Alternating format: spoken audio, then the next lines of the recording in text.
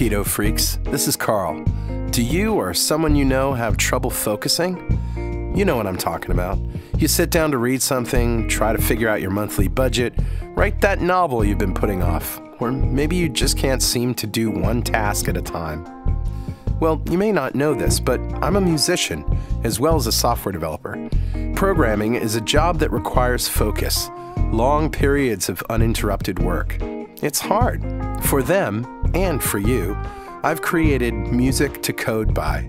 This is music, yes, but it's specifically and scientifically designed to promote focus.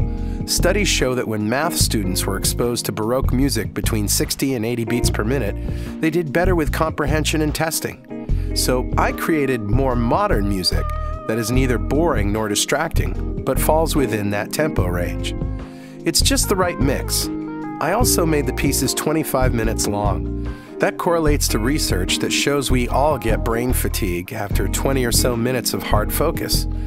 The result is thousands of happy customers. Now, you don't have to be a programmer to reap the benefits of Music to Code By. It has been known to soothe restless pets, calm fussy babies, and even help autistic kids relax and fall asleep. Listen to some free samples at musictocodeby.net.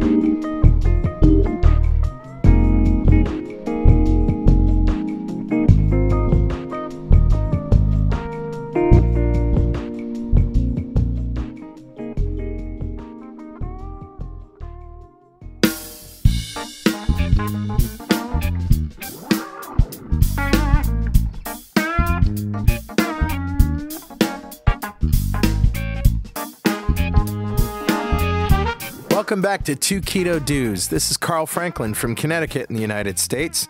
And in February 2016, I put myself on a ketogenic diet to take control of my metabolism.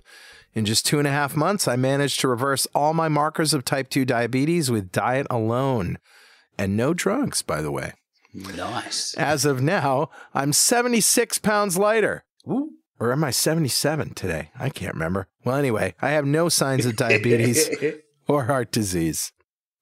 Hi, I'm Richard Morris in, Canberra, Australia, and I've been on a ketogenic diet for over two years. When I started, I was very sick with complications from type 2 diabetes, and within six months of starting a ketogenic diet, all of my biomarkers of disease had disappeared.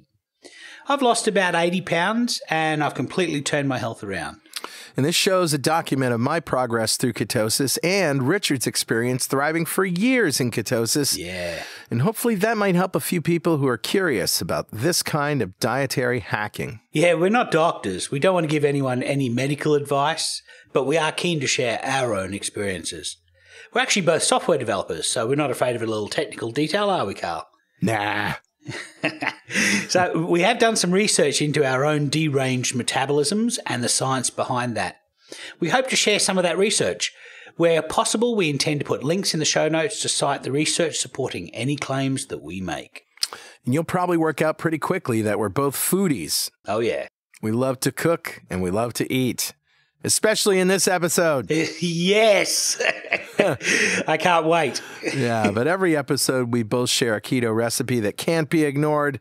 Lots of them today. So let's start podcast number 39 Yeah. Thanksgiving 2016.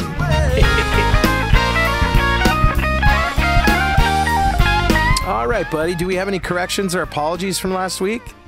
Uh, last week was an awesome show. That was the uh, the Dave show where we uh, spoke about cholesterol hacking. Yeah. Um, I don't believe we've got any uh, any errata from that show, uh, but I'm hoping people will write in and tell us anything that they noticed that we said wrong.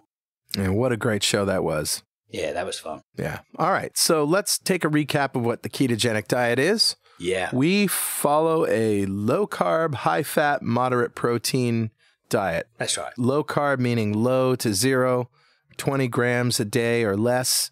Although we end up usually eating five or 10 grams a day, but it doesn't really matter. In- incidental carbs. Don't get energy from carbohydrate. You know, if there's carbohydrates in your leafy greens, you know, yeah. as long as you're under 20 grams a day, you'll probably you'll probably be fine. And I've, I, I've observed that I can eat all the leafy greens I want and not get kicked out of ketosis. So Yeah. eh, you really don't have to worry about those. Any, at least I don't think anyway. It's things like it's things like nuts, which have a lot of fat Right. and, and protein in them, but you know they also have some carbohydrates. And if you eat a whole handful of nuts, uh, all of a sudden you start craving more nuts and more. don't and eat then- a whole bag of macadamias. That's not good. Ask me No, how I know. not. I don't want to ask you. You know. I've done that a couple times. Well, Yeah, anyway, um, protein scales with how much lean body mass you have. So we That's use right. a calculation of one to one and a half grams of protein per day per kilo per kilogram of lean body mass. Yeah, that's it's really depends how much uh, exercise you do. If you're doing a lot of exercise, you want to have more. And one and a half, you know, you may find that you need more than that. I, I noticed after my last fast, I did a ten day fast, and I've I've been craving a lot more protein than I normally have. Um, and I suspect it's just my body um, reaching an equi- uh, equilibrium back again. So you will crave protein food. You'll crave that savory flavor, and maybe you need to go higher on that. And sometimes, if you're not craving it, um, try going lower. So anyway, Yeah. And after a while, you probably want to start doing intermittent fasting, which is what we do now, but we certainly don't recommend that at the beginning. But uh, go back to the newbie show and listen to that whole thing. Or the um, the other show that we did where we really talked about this is the eating patterns show. right, yeah. So, but the the main thing about keto is that we get all of our energy from fat. Yeah. We're using protein to build our bodies. We're not using it to burn for energy. Right. We're not burning carbohydrate for energy.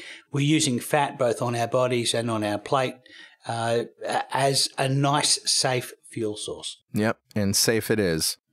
So, buddy, how was your week? Yeah, it was great. I've, as you know, I I did a ten day fast that stopped last week, and uh, I've been over the past week, as I mentioned mentioned before, I've been craving a lot of protein, so I've been having uh, a little bit of extra protein in my meal. So I've been, and I find a really easy way to add protein to a meal is to uh, have shrimp. I made uh, salmon in a bag in the sous vide machine this week, and I put a couple of peeled raw frozen shrimp in a bag with a bit of butter and some garlic, and just toss that in, and basically poach them in butter. Nice. You know, they're mostly protein, so Yeah, they are. so you know, I and I've been eating a bit of tuna as well. So I've been eat, eating quite a lot of seafood lately, um, and I've been feeling great. I, I've I've I retraced a little bit. I I dropped almost eight kilos, and then I, I retraced about three and a half kilos the next the next two days as I refilled my gut. So the next time that somebody states that I'm full of it. I can state categorically that at least three and a half kilograms. I know because I measured it. Oh, you're sick. So I've had a great week. How, how was yours? Well, I had a great week too. I've been using the left side of my brain quite a bit lately uh, on some software, and every Yeah. once in a while, as my wife will tell you, I get that either I have to go to the studio and make music, or I have to, you know, pull all nighters and write software, one or the other. So Yeah. uh, I was in left brain extreme mode this week, and so you know, your brain needs a lot of energy when you're when you're Yeah. doing a lot of uh, head work, so to speak. And what I did was for like three days, all I, I swear to God, all I ate was pepperoni and pub cheese, which is just, you know, cheese spread, but Yeah. no zero carbs. Pepperoni and cheese. And uh, when I got hungry, and I tried to not eat and not eat and not eat in the morning. And then uh, instead of having bulletproof coffee first thing, what I did is I had my regular coffee. And then about 11 or 12, when I got a little bit hungry, I just take a spoonful of uh, coconut oil. Yeah. And that'd keep me going for another three hours. I think I think the hippies would call that a deconstructed bulletproof coffee. yeah, exactly. but it's all about the timing. yeah, right. Yeah. So, uh, so I had a great week. I was just living on pepperoni and cheese, and maybe some olives and some coconut oil. And um, if I was going to eat a meal, I eat like half or a third of what I normally do, just because I didn't really care, just didn't want it. So, Yeah, well, our brains are so metabolically active, and uh, you know, the, the harder you work it, the more um, energy they're going to chew through. They, I mean, they they say that the brain and the heart each account for forty percent of your total energy. So you know, it doesn't leave a lot left to be cycling around lakes and stuff. But, Yeah. you know, well, so here's a tip for you kids: if uh, you want to burn some fat, you know, and get into a, a rhythm where you're not hungry and just burning a lot of body fat. do some head work, do some thought work. Yeah, cut some code. Yeah, well, if you're a developer, write some code. But you know, if you're not, write a book. Yeah. Sit down and idea. write. Uh, just use your brain. Don't uh, waste it on television or anything like that. Or listening to silly podcasts. Yeah, two them guys who think they know something about nutrition. Hey, we're just dudes. we're dudes. right. We're dudes on the internet with opinions. But we can cook. We can cook and, and we can find the science to back up what we're saying. uh, That's right. At least most of the time we can. All right. Well, we got a couple pieces of Mail!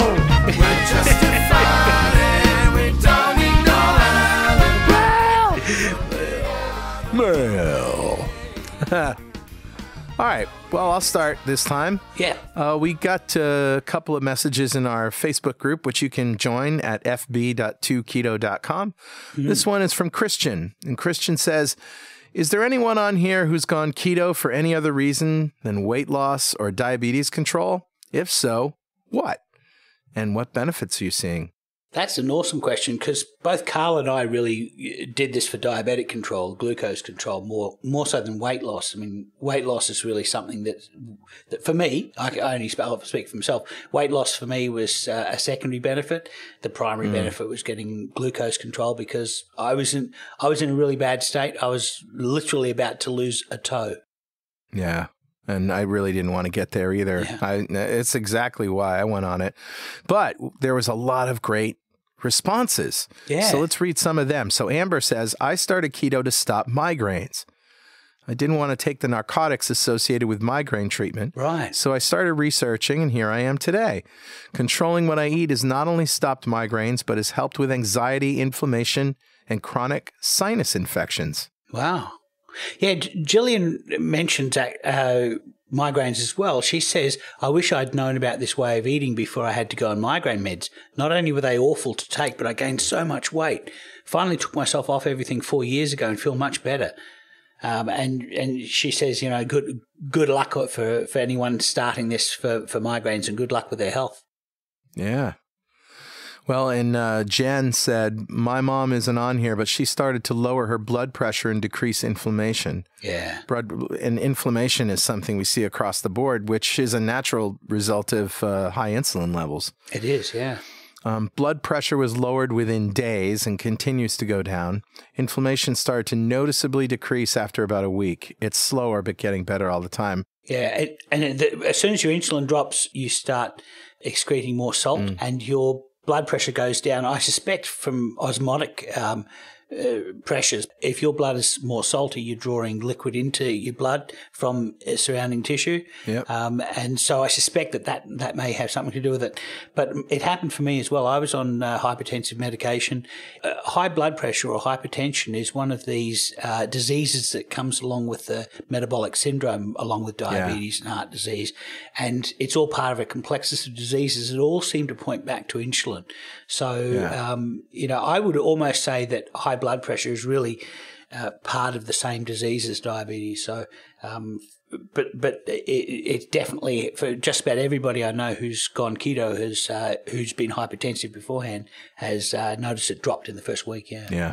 So we have one from Carol, who's one of our admins, and she says that I admit that weight loss was the thing that got me researching it. But since I have a family history of cancer on one side and diabetes slash heart disease on the other, I figure I might be able to re- outrun that stuff with keto as well. And then there's also the cognitive benefits. Yeah, as I was just saying, the mental acuity uh, is just amazing. I'm not so sure I could have done what I did in the last three days, you know, code wise, without uh, without being fat fueled. Yeah, I know Karen Mangiacotti said uh, she notoriously for the first almost two months gained weight on keto. Right. And she's one of the few who has. And she said the thing that kept her in it was that she was writing a book or a screenplay at, this, at the time and it gave her mental focus. It gave her clarity that, that she, she never had as a glucose burner. So even though she was gaining weight uh, and she wanted to lose weight, even though she was gaining weight, she, she stayed for the mental clarity, which she got almost immediately. Well, we don't want to read all of these replies, but we'll do a couple more. This one is from Lee. And Lee says, Yes, I was diagnosed with fibromyalgia or fibromyalgia Wow. two years ago. I was so sick I couldn't get out of bed. I started looking into natural remedies and found a fantastic supplement program, but it didn't get me all the way into remission. Hmm. About a year ago, I started dabbling more with my diet to get rid of my inflammation. I noticed how much that helped. I'm trying to put my incurable disease into complete remission, so I'm starting on the keto. Oh, wow. Yeah. It's been three weeks now, and I can definitely tell that my inflammation is way down. I'm much more comfortable, and I'm not having hot flashes. Mm. My digestive issues are cleaning up nicely unless I eat too much swerve, which is a sweetener. Yeah. Disaster Yeah. pants. Yeah, exactly. Yeah. Good on you, Lee. Yeah, good on you, Lee. So uh, anyway, that we have a maybe a hundred responses to that thread, and I suggest if you're interested in the kinds of things that keto can do for you, um, go to fb.2keto.com and uh, join our group, and uh, you'll see that thread with uh, lots of great content. Yeah. So we got another one, right, Richard? Yeah, we do. We've got one from Becky, and Becky says that my keto journey has been a cooking awakening. Yes. Yeah. I love cooking again. I love to cook. I was known for my cooking and baking. I went gluten free five years ago, and while I felt physically better, mentally I was off my love of cooking and it was a mess. So hmm. she talks a lot about food restrictions that she's gone through over these five years. But she comes to the end and she talks about being addicted to food and angry at food, and we've all gone through that. But so she says, after three months on keto, I still have moments like this. I still binge at times, but it's keto binges, thank goodness. And then I pull myself back to keto and self control. Thank you for keto for helping me experience this. Hmm. I then read in the Two Keto Dudes group, and I tell myself, I can, I will, I deserve strong health. I deserve to be seen as more than my fat. Not sure why I had to get this out today, but I'm grateful for a form to write this in. Keep calm and keto on. and I would say keep calm and cook on. Yeah, cook on. And I, I gotta say, I know exactly what Becky's talking about. Before, when I was a sugar burner, uh, and I would go off the rails and do emotional eating. Mm-hmm. Oh, yeah. Some, you know, of course, it would all be carbs, and I would Yeah. gain weight, and I I would feel hopeless and helpless, like I couldn't control it. And sometimes I would put on twenty pounds before I stopped and came to my senses and said, you know, I'm gonna have to uh, take this off now. And of course, the the net gain is what happens. You know, you you can never get a hold of it. And so now, um, you know, I don't have emotional eating, but I have these periods where I get hungrier than other times. Sure. And instead of binging on, you know, crap, which I consider poison Yeah. now, Slippery slope. yeah, I binge on keto, and uh, and it's great. Yeah. And I don't put on any weight, or if I do, it comes right off the next day. It's like it's just amazing. I've got, I've got to admit, cooking for me was the necessary technology to enable my prolonged weight loss. Me too. Uh, it was getting interested in cooking, and uh, I, I, I suspect that it's uh, cooking is an essential step towards having a healthy relationship with food. And I, I tell people with young kids this that if they want to inoculate their children against obesity, uh, then they should teach them how to cook. Teach them the the ingredients that go in to make a meal. Um, uh, play the game when you go to a restaurant. How would you make this meal? And uh, you know Yeah. that kind of thing. And inculcate in your kids a love of the production of food, and Yeah. you'll find that they uh, you'll find that they're more able to uh, to be aware of what they're eating, uh, and uh, as I say, have a more healthy relationship with food. Yeah, so uh, I know exactly what you mean, Richard, and uh, I I do the same with my kids. We watch used to watch cooking shows together, and Yeah. I, I never played that game of how would you make this in a restaurant, but I love that idea, Mm. and uh, yeah, I'm gonna do that. But uh, man, cooking has been on my mind today because You've had a big day. I did have a big day. I've been researching what I was going to do for Thanksgiving for a couple of days. And then I went shopping this morning and I spent the whole day in the kitchen.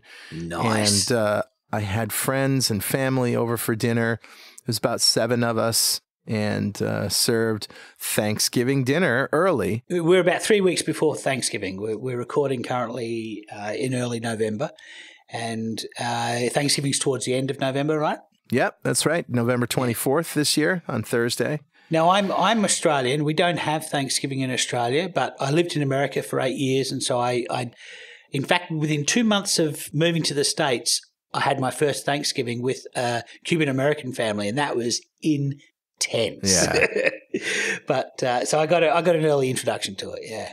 It's one of those holidays that uh, has always stuck with me. Uh, it's an American holiday, but many cultures have both a holiday in which they give thanks, Hmm. but also maybe an autumn festival. That, and it might be the same holiday, but there's generally uh, it's all about seasonal foods. Yeah, it's like You know. post harvest, really, isn't it? So you do all the Right. work get the harvest in, you get, and then you have a big feast and be thankful for the for the year's bounty.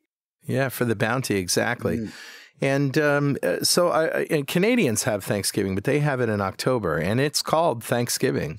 wow. Yeah, but it's different. You know, it's different. In America, we've got this lore built up around Thanksgiving. You know, the Pilgrims came over on the Mayflower, and uh, they settled. and They all starved to death, and if it weren't for Squanto and the Indians who showed them how to plant corn, and maybe they had some pheasant and stuff, and they had this big peace offering, and then we beat the living snot out of them. So, well, they did they did introduce you to corn, so right. those carbs. Yeah, exactly. Well, I found that uh, I was reading a great book by Bill Bryson called Made in America, Okay. and he tells the story of Tisquantum, or Squanto for short. But uh, Tisquantum in 1614 was captured in Massachusetts by Captain Thomas Hunt, who was a lieutenant for Captain John Smith, who lured him and 23 other friendly Native Americans on board Hunt's ship Okay.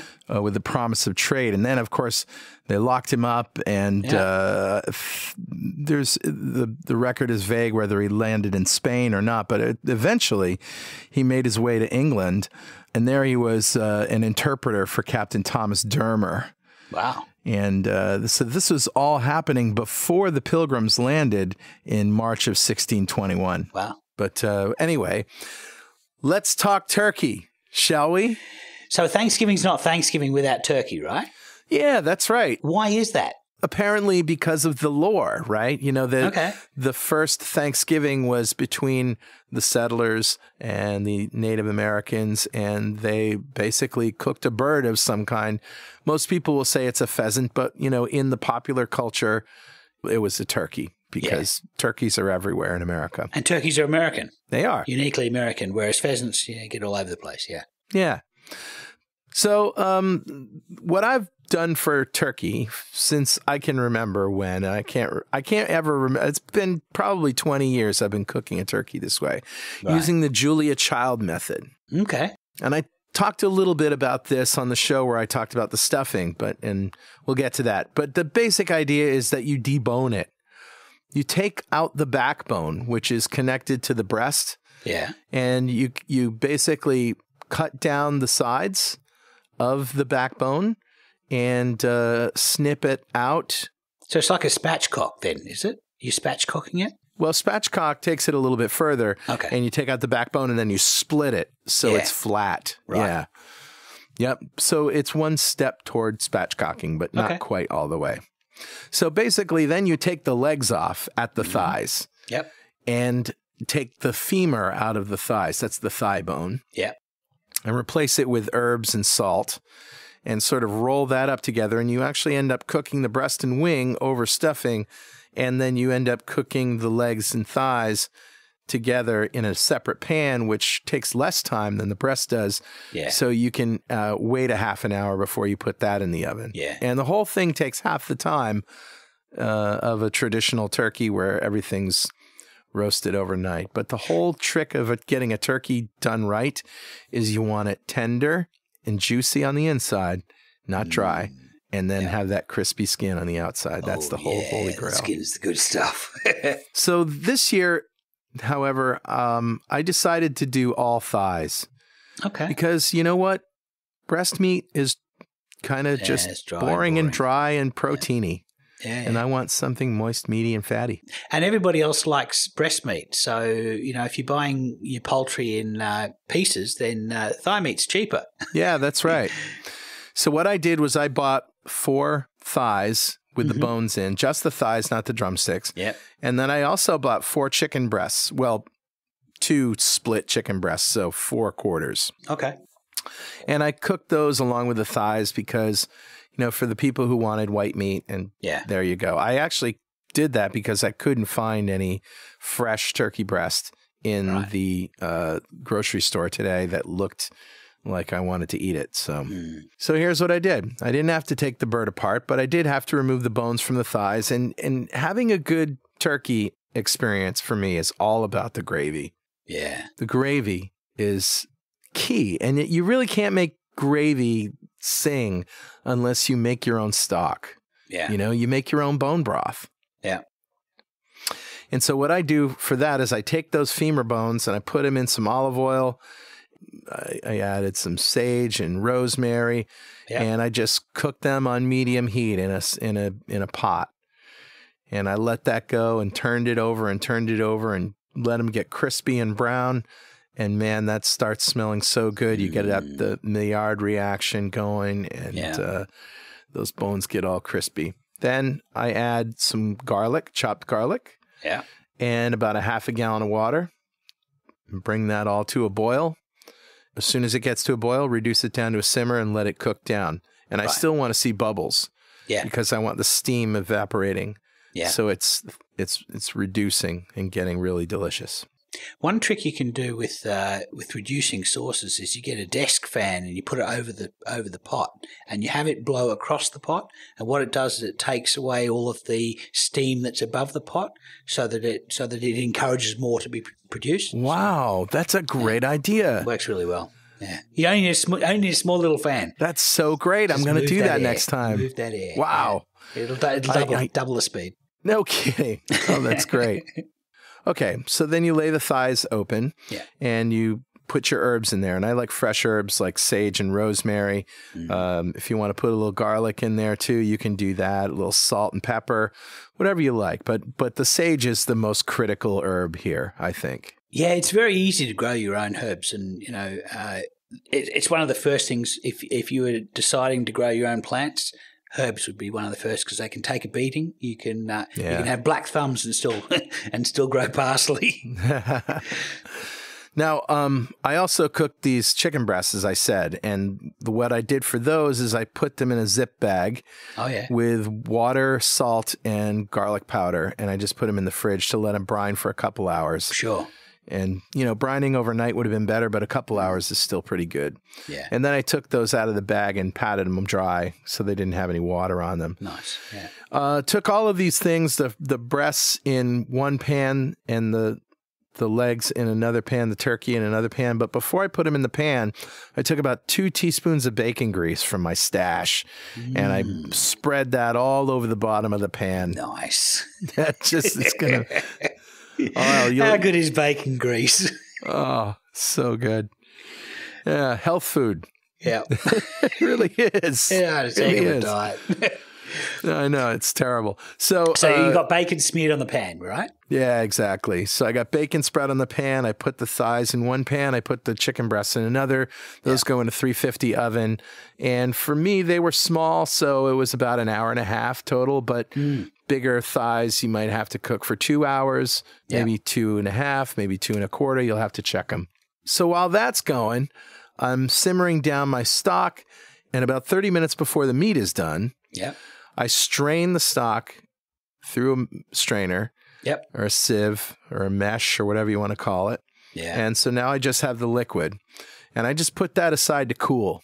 Now there's a reason that it's got to cool. Okay. Because I'm going to thicken it with xanthan gum. ah, so you don't use a roux, No. which is traditional way is using flour, right? Yeah, traditional way is using flour, and I never really liked flour gravy. It was nice and thick, but it leaves that that uh, aftertaste, that chalky, Yeah. floury aftertaste, right?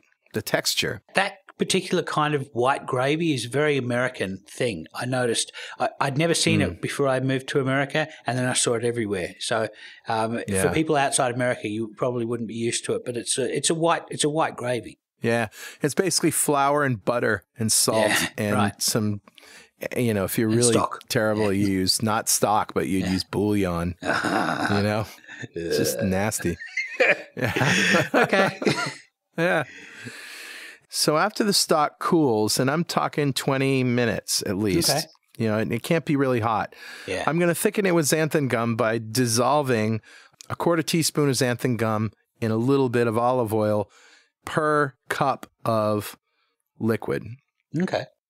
So I got about four cups of liquid, maybe five. So about a teaspoon. So. I used about a teaspoon. Yep. Yeah.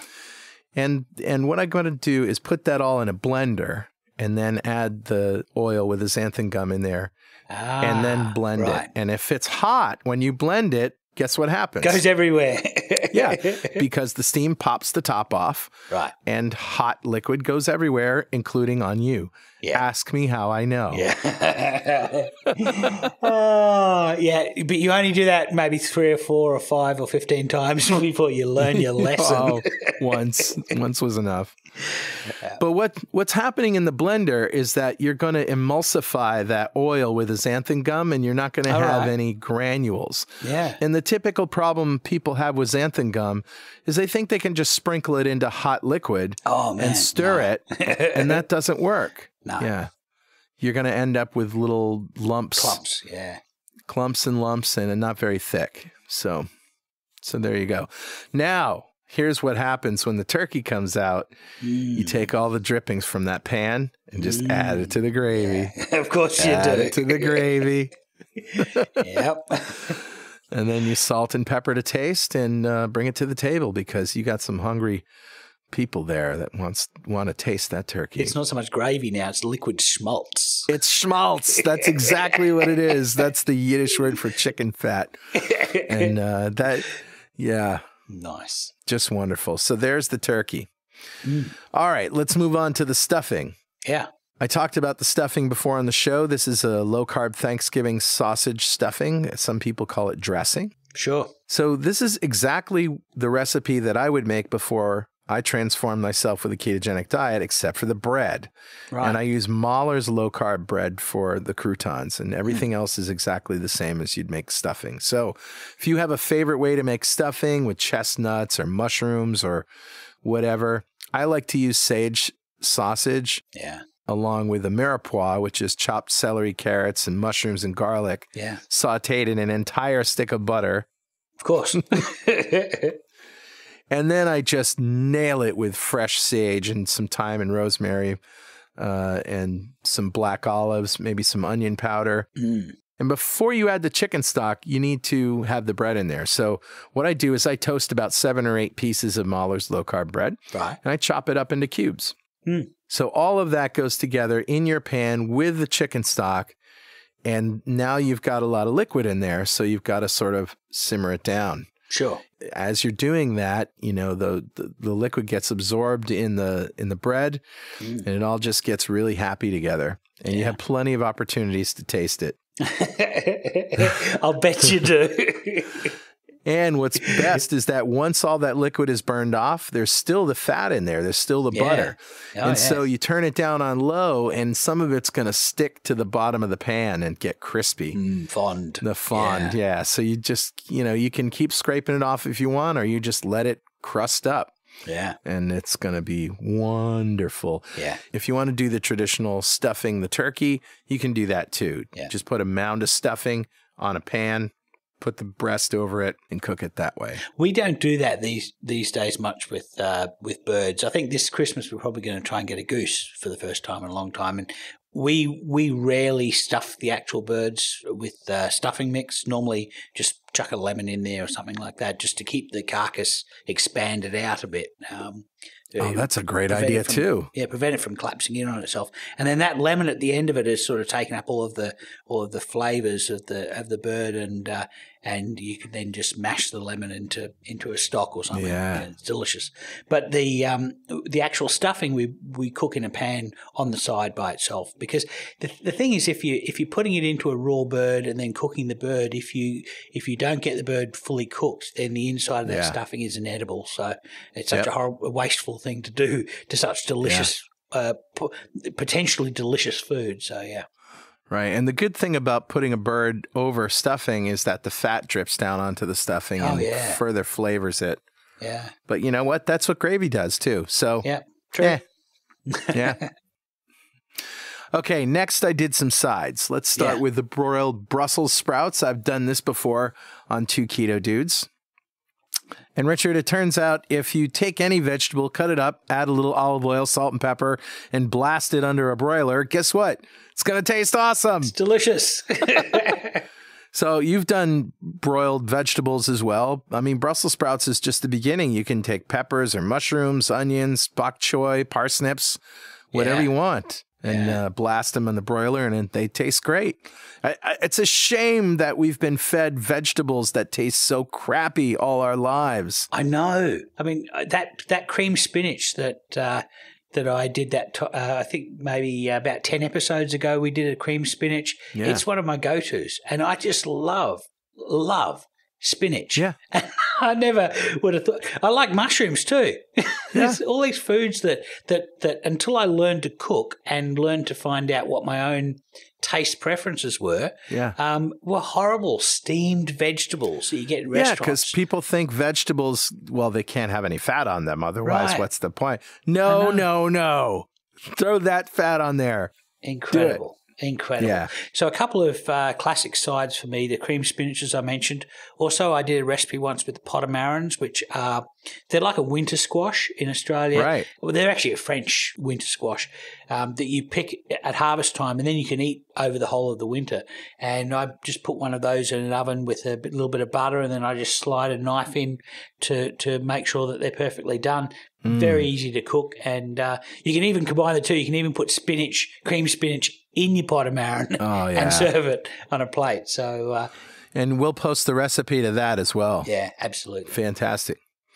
Okay, so next I want to talk about mashed potatoes. Yeah. Oh, yeah. First of all, it's not the potatoes why you like mashed potatoes. Okay, it is if you're carb addicted, but Right. the flavor isn't in the potatoes. It's in the garlic and the butter and everything. The potato Yeah. is just a, a blank canvas on which to put flavor, right? Yeah, absolutely. So if you start with something more flavorful, like say cauliflower, Mm. and mash that up, um, you can actually have something that don't compare it to mashed potatoes, just compare it to mashed cauliflower. It's really, really Right. good.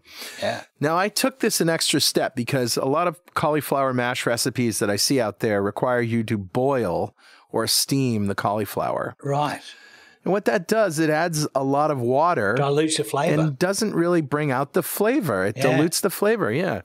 And of course, you don't want runny mashed anything. So Mm. why do that? So what I did was, guess what? What? Broiled them. Broiled them. Yeah, I chopped up cauliflower and I added, guess what? Olive oil, gar- garlic, salt, and pepper.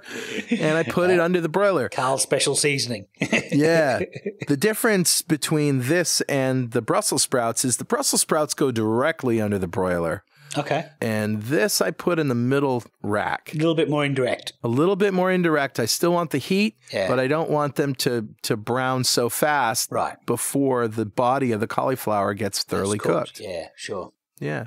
So sometimes sometimes you can put a little bit of uh, foil over the top of them just to stop them from getting that radiant heat, so that they they, they, they it stops them from getting the heat directly from the element, and they get it from from their surrounding temperature. Right. Or you could just bake it at 500 degrees instead too, of broil it. Yeah. But broiling does crisp the top. And even better if you have a convection oven that can add a little bit more. And that's that's exactly what I did is I, I put them under the broiler for about 30 minutes. In the last 10 minutes, I turned on convection Right. and that really crisped up the edges of the cauliflower. Mm, lovely. So 40 minutes later, I take it out and I cooled it off a little bit because I'm going to put it into the food processor. And if it's too hot, there might be a little too much steam, which could condense and mm. turn into water and all of that. So, so I wanted to just cool it off a little bit, but I did add about three tablespoons of butter Butter. and a little heavy cream, just a little squirt, maybe a couple tablespoons. And that all went into the food processor and it came out the consistency of hummus. Ah, yeah. So slightly grainy but delicious. Yeah, yeah, and then and that with intense flavor, like not your typical mashed potato that you could just eat tons and tons and tons of. Mm. This is like seriously dense flavor Yeah. and that roasted cauliflower flavor, and it, it comes out brown. You know, Yeah. Yeah. And you have a small spoonful and the flavour lasts in your mouth for, for minutes. yeah. Yeah. It's a different experience from mashed potatoes, but it's better. That sounds awesome. I'm gonna I'm gonna have to make that. I, I think I'm gonna have a. You're making me want to have a Thanksgiving in Australia. You know that, don't you? All right, let's do it. yeah. So, uh, cranberry relish, cranberry sauce, that's a staple of Thanksgiving in America. Okay. And there are two kinds typically that people will buy. There's Mm. the jelly, which it comes in a can and it just goes and it pops out in a can perfect can form. I know. And I've the- seen that. there might be a few cranberries whole in there, but probably not. It's it's just a stuck the- jelly. it's stuck on a plate in the middle of the table. And it's all Yeah. can shaped. yeah. I yeah, yeah, exactly. I've seen it. Exactly. Yeah. Well, and then there's cranberry sauce, which people will typically either make on a stovetop by boiling down cranberries with uh, sugar Right. and a little water. Because they're very tart. So you- They're very tart. Yeah. Yeah. Or, um, you know, cranberry sauce that comes in a can also, but is more like a sauce, right? Right. So, however, my mother has been making both the cranberry sauce and a cranberry relish from fresh cranberries. Okay. And she has been made ever since I was two. I can't remember a time when we didn't have this. Mm. And she sweetens it with orange juice and puts orange zest in it. And of course, some sugar of some kind. Sure. Later on in her life, she would use honey or agave nectar, supposed good sugars. Good sugars. yeah, good sugars. Carl, of course, is using scare quotes around good sugars. Yeah, that's right. So and and she also added a little ginger to it, which is Oh, a nice. really good combination with with cranberry. Mm. Well, anyway, I did the same except that I added uh, instead of orange juice, a little lemon juice and the Okay. zest of an entire lemon. Yeah. Nice. And to prepare the cranberries, I I blanched them in boiling water. In other words, I put them in water, brought it to a boil, and then just let them sit for like a minute, and that's it Yeah. so that they wouldn't cook, but they would blanch a little bit. They'd It soften softens the outside skin. Yeah. Yeah. And then I uh, strained that, put them in the food processor with the zest and a little lemon juice and sweetener to taste. Mm. And I didn't go overboard with the sweetener, and here's why. First of all, we're we're ketogenic. We don't need Yeah. really really sweet stuff. No. Secondly, you really need that acid to cut through all the fat Yeah. of uh, the rich gravy and the turkey Sure. and the mash yeah. you know and and just a little bit turned out everybody loved it Mm. you just use a little bit of it and it's relatively fresh tasting because uh, they're fresh cranberries they're not Yeah. cooked Yeah. yeah I'm just wondering where I'm going to get fresh cranberries in Australia. Oh, I'm, I'm going to see how I go. Yeah. i could send you some but i'd probably get arrested Yeah. No.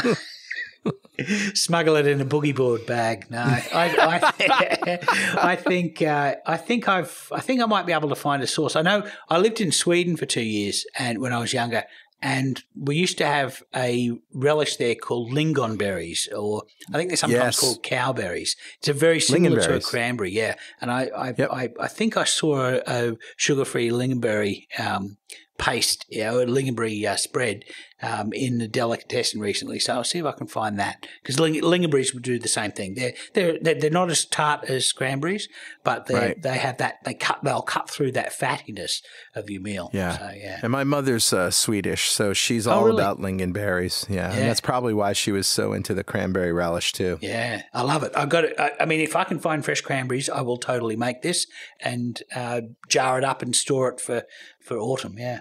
Awesome. All right. Okay, there's one more thing that I made that I need to talk about, and then I will hand it over to you because you've got some great recipes too.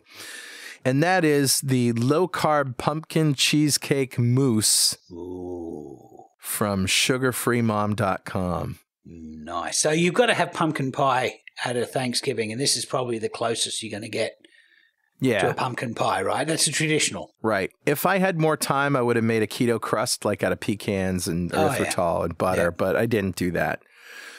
And I did use a different sweetener than they say here. Okay. Uh, they they use vanilla liquid stevia, Okay. and I didn't. I used Sukrin Gold, which is an Right. erythritol stevia blend, but it is brown sugar ish. So it's got like a molasses essence added to Yeah. the artificial sweetener. So it's it, yeah. I, I have seen it. Yeah. I've just never used it. Yep, and I used it for the first time, and it really works well with pumpkin. I mean, if you Mm. think about it, the, you know, any any kind of spice, Yeah. uh, you know, pumpkin spice thing is going to work really sugar. well with them. Yeah. Yeah. So here are the ingredients. You need two eight ounce packages of cream cheese at room temperature. Okay. You need a 15 ounce can of pure pumpkin, not the pumpkin pie filling, but just pure pumpkin puree. hmm You know, just a can of pumpkin. Yeah, yeah, yeah.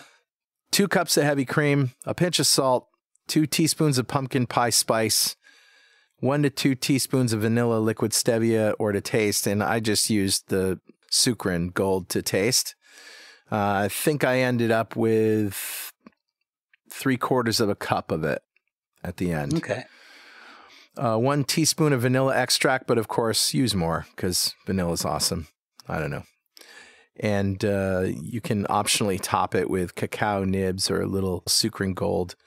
Okay. But uh, those are the ingredients. So for people outside of America, pumpkin spice is, I guess you could quatre épices. The the the French sweet four spice blend would probably be closest, but it's really, I guess, cinnamon, nutmeg, Cloves and allspice. oh, and oh, and allspice, right? Yeah. hmm So, Yeah. um, but in America, everything, everything this time of the year is pumpkin spice flavor, and pumpkin spice is one word.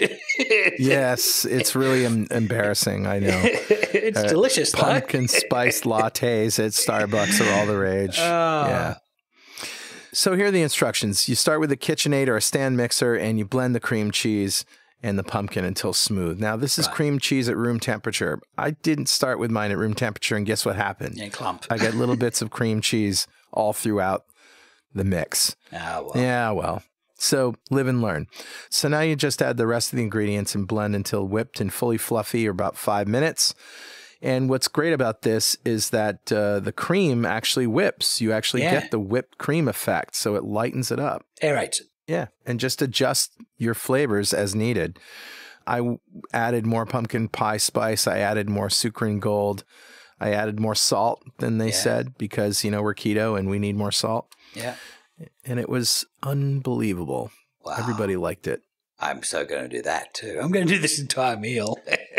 yeah. So that's what I got, Richard. Hey, should we play the recipes theme? recipes. It's time for recipes. Ah, recipes. A little late, but okay. This this entire show is recipes. I'm going to do a recipe now. Um, in Australia, we don't have Thanksgiving. What we have is the day after Christmas. Uh, it's called Boxing Day in Australia. It's a, it's a holiday. You have the day off, and we have a lot of sporting events that all start on that day. There's a big Boxing Day cricket match in Melbourne, um, where the, if the English are coming out, then it's the, the big Ashes match. It's a five day sporting event where mo- the most likely outcome is a is a no result, and um, and then um, it is kind of kind of like baseball. Imagine it taking five days. Yeah, yeah, I know. So. Uh, so that so there's the cricket and then there's a big sailing race, the Sydney to Hobart yacht race, which is down the eastern seaboard of Australia, which is quite a dangerous race. So that's all very exciting. Um, and so what happens on Boxing Day? These all these sporting events start, and you've just had Christmas. You had your family over, for, uh, some of your family over Christmas. The ones you like, the ones you don't like, all turn up on Boxing Day, and you and you basically sit around and eat leftovers and watch sport and fall asleep on the couch in front of the sport. So my uh, my experience of uh, Thanksgiving in America was that's pretty similar similar to a Thanksgiving. yeah, very similar. We just try to eat everything in sight. Eh, Yeah. That's it. It's a it's a competitive eating event. So um, Yeah. what we often do in Christmas time in Australia is middle of summer. Right. absolute height of summer.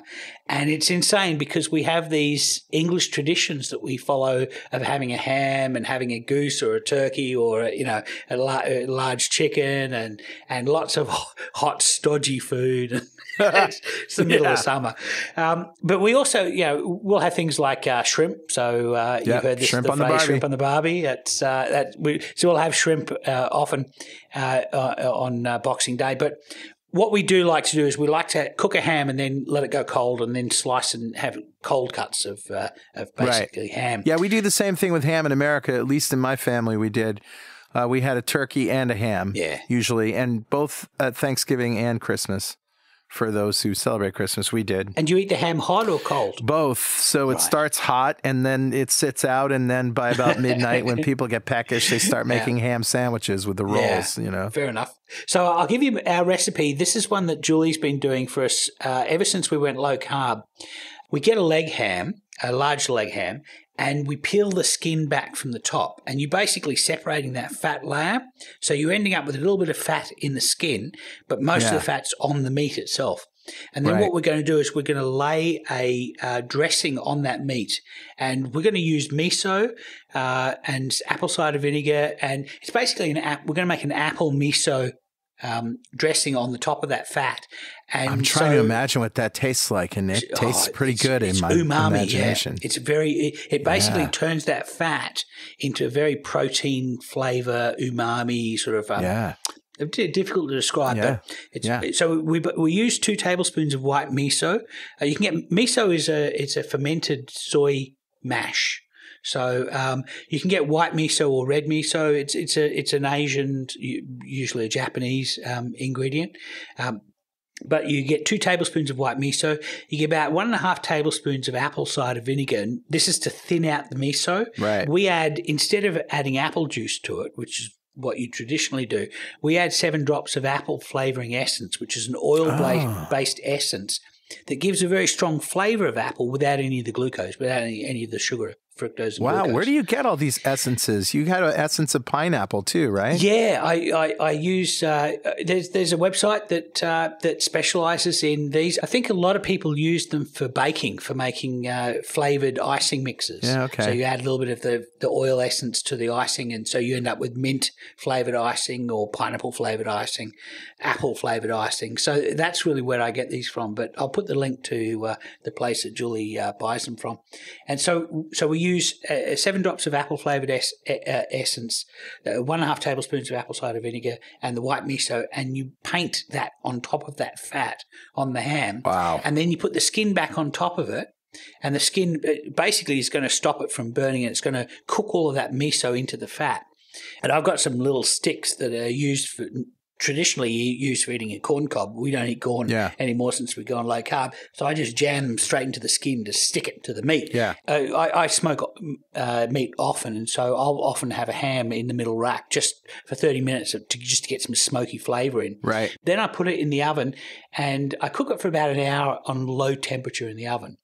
And uh, the whole point of that is for the fat to not quite render so it drips out liquid, but it cooks down just a little bit with the flavors. And so you end up with a really flavorsome bark around the outside of your ham. Yeah, that sounds and great. some of the flavor goes through it. So that's that's that's Julie's miso apple uh, sounds so good. And I'll put link I'll put links in the show notes. Yeah, I'm not hungry, but I could totally have a bite of that right now. No problem. So that's my recipe. And you've spent the whole day with giving us recipes. yeah. I sort of felt obligated to since uh, you really didn't have the Thanksgiving experience, uh, at least not all that much, and uh, don't Yeah. really have the turkey and stuffing uh, down under. But uh, I sort of, and, and believe me, it was no uh, sacrifice on my part. I enjoy nothing more than spending the whole day shopping, cooking, and then eating a meal with my friends. It's like a perfect day. and it's awesome because at least 30% of our listeners are outside of America. So this gives everyone an opportunity to have a Thanksgiving weekend. Sure. Why Mm-hmm. not? Yeah. It's it's really all about just good food and friends and family. And, and having gone through the keto adventure since January that you have, uh, uh, both of us have been through the keto adventure. We've got plenty of reasons to be thankful. Yes, we do. I'm thankful for you, my friend. and I'm thankful for your meal because I'm going to get it in my belly. all right. So that's the show, Richard. Yeah, if you've got anything that you want to tell us, something we said wrong, something that you don't agree with, or some more research that you've found to support or refute what we've said, send it by email to dudes at 2ketodudes.com or post it on our website. or you can follow us on Twitter at 2 Keto Dudes or on Instagram at 2 Keto Dudes. And uh, our blog is blog.2keto.com. Our recipe archive is at recipes.2keto.com. Hey, yeah. the Fathead Pizza is at pizza.2keto.com. the chocolate mousse is at mousse.2keto.com. and the list goes on and on. Uh, a list of links Critical Science is at links.2keto.com. And of course, if you want to join us on our Facebook group, it's at fb.2keto.com. Keep calm and keto on, Richard. Keep calm and keto on, Carl. All right. And we'll see you next time on, on Two Keto, keto Dudes.